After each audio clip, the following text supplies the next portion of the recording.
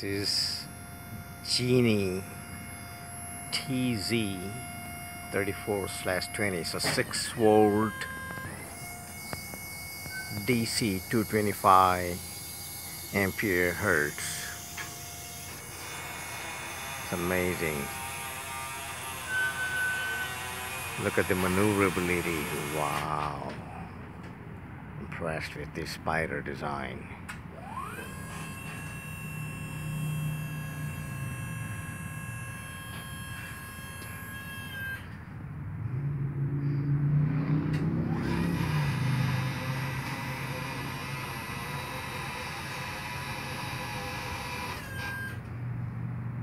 just brought down the old halogen parking light fixture from up there.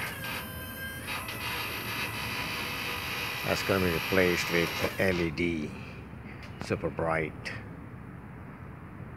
parking lot light. There it is. And this battery is uh, rechargeable with electrical. Just DC operates on DC amazing